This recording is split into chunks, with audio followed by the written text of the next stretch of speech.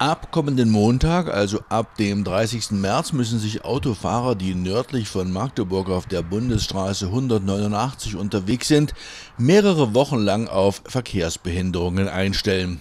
Grund dafür sind umfassende Sanierungsarbeiten zwischen den Abzweigen Barleben und Meitzendorf, die voraussichtlich bis Mitte August dauern.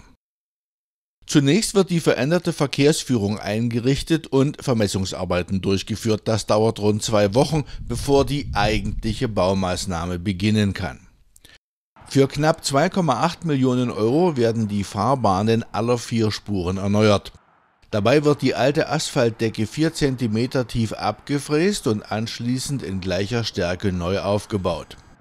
Auch die Auf- und Abfahrten der Anschlussstellen Barleben Zentrum, Ostfalenpark und Meitzendorf sind Teil des Vorhabens. Sämtliche Arbeiten sollen unter Aufrechterhaltung des fließenden Verkehrs ausgeführt werden, der dazu über die Richtungsfahrbahn geführt wird, wo gerade nicht gebaut wird.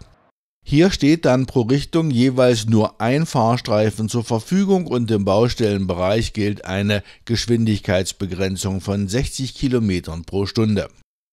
Zuerst wird die Richtungsfahrbahn Stendal in Angriff genommen. Dort reicht der knapp 3,5 Kilometer lange Bauabschnitt exakt von der Anschlussstelle Barleben bis zur Anschlussstelle Meitzendorf. Anschließend wird auf die Gegenfahrbahn gewechselt. Der Bauabschnitt auf der Richtungsfahrbahn Magdeburg beginnt aber schon an der Brücke über die kleine Sülze bei Barleben und endet an der Anschlussstelle Meitzendorf. Das sind dann rund 4,3 Kilometer. Der erste Bauabschnitt soll in der Zeit vom 13. bis 25. Juni realisiert werden. Dann folgt die Einrichtung der Verkehrsführung für den zweiten Abschnitt, wo die Arbeiten planmäßig am 4. Juli beginnen und voraussichtlich bis zum 24. Juli dauern.